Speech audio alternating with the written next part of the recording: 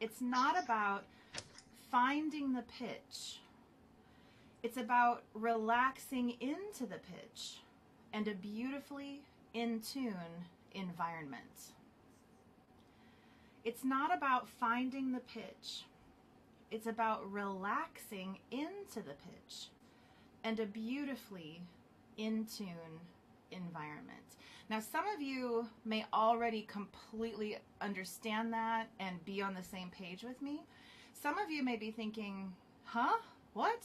How does that even work? Or you may be somewhere in between. Again, I really want questions today. I want a lot of back and forth today, but I'll, I'll chat for a little bit before we get that started. I have a little anecdote that I tell often, um, and my student um, from a few years ago, Leslie, knows I tell this story because I, I was so impressed and in awe and just inspired, and it's it's helped so many people just by telling the story. So Leslie, uh, when she was studying with me at UTA, very talented, very very talented flutist, one of those naturals, you know, where it just wasn't hard for her to get her fingers moving fast. And she wasn't necessarily the best practicer, but you know, she could she could play the scales and she could play impressive stuff without it being too stressful. We had to dig in a lot on her rhythm to get it really honest, um, but it was, you know, she almost always sounded very nice. Well, her tuning was problematic. Her sound was pretty enough that it wasn't an issue of like, oh, she sounds awful, or, you know, uh, it wasn't an emergency situation, but she was a music education major with the talent and potential to really reach a high level of flute playing. So tuning was on the table, and and it was kind of disappointing to both of us when she was so passionate, but her high notes would be sharp and her low notes would be flat. And her um, middle register notes in what I call the danger zone, like uh, B natural in the staff up through D sharp slash E, that they would be kind of wild and all over the place and often extremely sharp around the C sharp. And so, you know, she wanted it to sound better because she had good ears. I wanted it to sound better. And we did the usual, which was a lot of my piano exercises, a lot of sing it, play it, sing it, play it. I use the tuner as a reference for awareness, but I don't get glued to the visual of the tuner like that um, example I mentioned of a conductor or a teacher putting it in the flutist's face, or even worse yet, those pickups. If you love those pickups, apologies, but you know those um, wire connectors to the tuner. Oh, I just find those so problematic. Um, so, you know, we did all the normal things, and again, she didn't sound bad. She sounded pretty, but not the level she was capable of. And the constant theme was busy brain. The constant theme was busy brain. And let me tell you a few of her symptoms of busy brain when it came to tuning. And I will say this tends to be across the board. It wasn't just Leslie. One, she had a lot of information in her head from advice, very well meaning advice that she had collected over the years about, oh, this note tends to be sharp, so you need to bring it down. This note tends to be flat, so you need to bring it up. I will tell you in a second why I actually find that extremely problematic. Um, but that was one of her major issues. Number two, she was often so worried about the tuning itself, and I probably contributed to that because I would say things like, "Oh, we really want to get that E in the sweet spot," or "That's not in tune," and then I added to the busy brain. But she was often so concerned with the tuning that she lost sight of what was important: the long line, the sing-along surrender, the flow in the music. And hopefully, you guys are on the same page with me and or have picked it up over the course of this course that I really believe momentum and flow are everything. And when you suck momentum and flow out of the equation, we're not really dealing with music. So even if you fix the pitch, it's not transferable and it's not sustainable. So one, busy brain trying to fix every note. Two, so obsessed with fixing every note that she was losing sight of the big picture, which is momentum, flow, and singing. Worse yet, number three, her confidence was so low because of how often she would hear herself play out of tune. You know, it's it's really interesting. Sometimes the students that play the most out of the out of tune, they're caught in a vicious cycle and they're the most sensitive to it, but it's the fact that they're getting so repeatedly stressed out that's perpetuating the problem. So those were the three main issues. And let me tell you about the day that it all changed for Leslie. And then I'll tell you how come I think it solved all three of those issues. So she was playing Deep Blue by Ian Clarke. And for those of you that have played it or listened to it, you know that piece is not going to be nearly as beautiful or effective if it's out of tune. Even if it's out of tune a little bit, the magical spell is, is broken. So the tuning was essential. She knew it. Um, she and I had discussed it. We had brainstormed. She was in the piano rehearsal. And it was a really beautiful moment that I'll never forget for the rest of my life. I saw her put her flute down. The pianist and I were just kind of waiting to see what was going on with her. But I saw her put her flute down and breathe.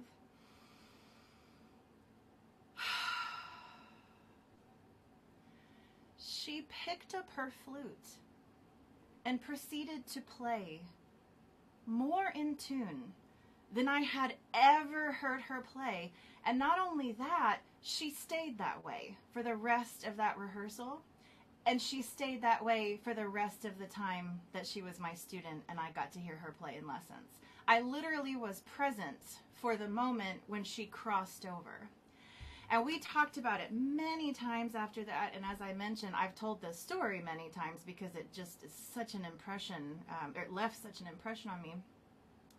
When I asked her what she did after the rehearsal was over, you know, after much enthusiastic praise because it was so beautiful, I had goosebumps, I was tearing up. I mean, you know that piece, and especially if a student that has sounded pretty, but then all of a sudden they sound like transcendently beautiful. As flute teachers, you guys know the emotions that come along with a moment like that. When I asked her what she did, she said, You know, I was so sick of it not working I finally did what you've been saying this whole time. I quit thinking about anything else and I just listened. And it was, that was it. that was it. She didn't have a big essay on how she fixed the C sharp and brought the air down and did her embouchure this way and held her flute this way and remembered what this band director said and rem- no for the first time in a real live performance situation, she stopped the busy brain and she went into what I call sing along surrender. So let's go back through those three issues that she had.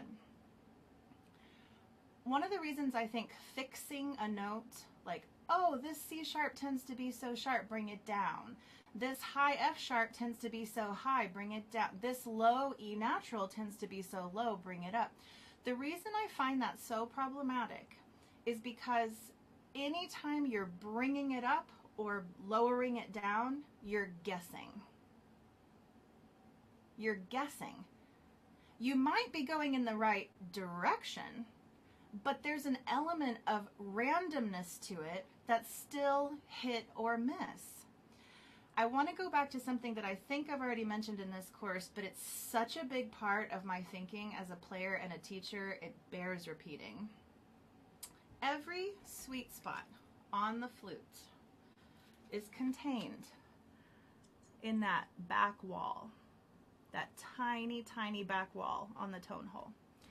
Every note from a low B up to the highest note you can play is in this big of a space.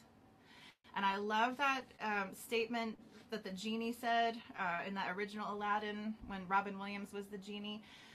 Unlimited cosmic powers, itty bitty living space. You know, that's the flute. Unlimited cosmic powers, itty bitty space where all the sweet spots are.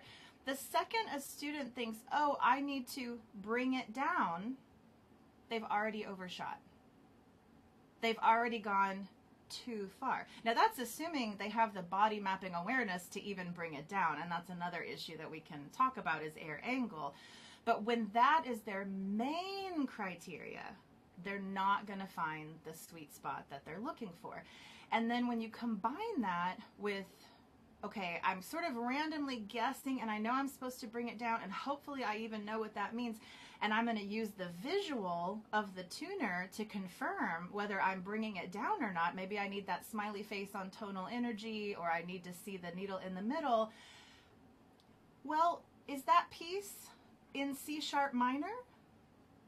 Is that piece in D flat major? If so, okay, great, because the tonic, you know, we hope that it is in the middle. But every other pitch has a different place it needs to be, not the middle, right? It needs to be in context. So this is why I added the last part of that box about tuning.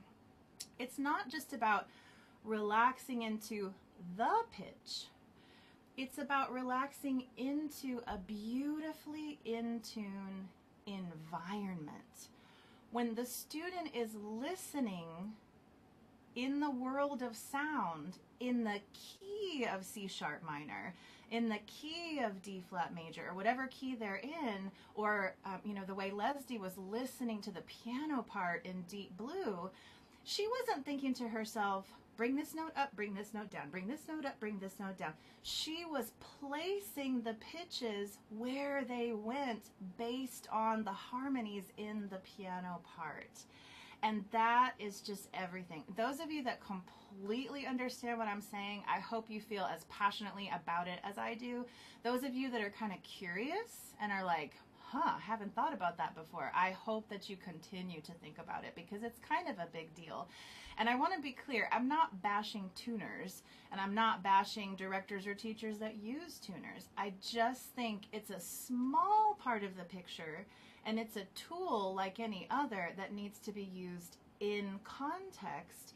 And often it needs to be an accessory to much more practice of listening in the key, in the harmony. So, number one, hopefully makes sense that fixing a pitch often creates more problems than it solves. not saying don't know about tendencies. That's that's helpful, but but don't make that the main hook. Number two, keep in mind, and this is for you, the teacher, because if you don't keep it in mind, how can your students keep it in mind? Keep in mind that long lines, momentum, and flow, playing through your flute like you're singing, is the whole point. So if you get one note in tune, like dun da da da, my C sharp was in tune, but everything else around it didn't make musical sense, has there really been a goal accomplished? So being in that sing along surrender, which in case I haven't explained this well enough, I'll just have an aside here. I usually start the first time I mention sing along surrender to students, I say, okay, let's sing Mary Had a Little Lamb together. Mary had a little lamb, little lamb. We just go through it. And then I, I point out, wouldn't it be strange if you were analyzing every syllable you sang? Mary had a little lamb, little lamb, little lamb. You know, who, nobody sings like that. And, and the tuning would get really wild really fast if they did. Um, so that's the simple example of sing along. And sing along surrender to me, the epitome of it is like driving along Highway 1 in California with the top of your convertible down and your stereo blasting with your favorite music and you're singing at the top of your lungs or like singing in the shower when nobody's around to hear you. Sing along, surrender. That's the goal. So if a note is in tune but it's in isolation, in a vacuum, I don't even know if that was really worth doing because I'd almost rather hear the flutist play with Sing Along Surrender and have some tuning issues than to be so awkwardly in tune and not have any momentum and flow or passion in their music. You know that quote from Beethoven, right? To play a, a wrong note is, is human, to err is human, but to play a note without passion is inexcusable. You know, I, I'd rather hear the passion with a little bit of tuning problems than to suck the passion out of the equation just for the sake of that one note making the needle on the tuner stop in the middle. And then the third thing, Leslie's confidence was so low. there is nothing like playing a note out of tune and knowing that you're out of tune and trying to play in tune but but not being able to get there there's nothing like that to just uh, kind of kill your flute self-esteem. And it might just be for a moment but if those moments keep repeating especially in a piece that obviously she loved she selected it herself she wanted to play something so beautiful you know it hurts even more. If it was just like an etude that she was playing that was assigned to her, that would be one thing. But this was a piece that she really wanted to sound amazing on, so it was kind of killing her that it wasn't sounding amazing. So when she stopped and she listened, and I do think that the training we had invested together and she had invested in her own practice sessions, that kicked in when she decided to stop and listen. It wasn't coming just from nothing, right? Um, but when she decided to stop and listen, and let go of the addiction of busy brain because it is an addiction. We're all addicted to it. When she decided to let go, all the problems were solved instantly. She was transported. There was no need to fix anything because she was playing in E minor in tune. There was no need to play awkwardly or like a robot because the listening was the way that she was now participating in momentum flow and sing along surrender. And then the second she started sounding so beautiful and so lovely in tune, blending with what the piano sounded like, oh my gosh, her self esteem skyrocketed. And it didn't have to do with stickers I gave her or compliments I gave her. It came from inside of her that knowing that this sounded amazing. So, having said all of that, I want to show you the coaching that I do in lieu of just sticking a tuner in my students' faces, which again, not bashing tuners, just keep it in context, keep it as a tool, not the main event.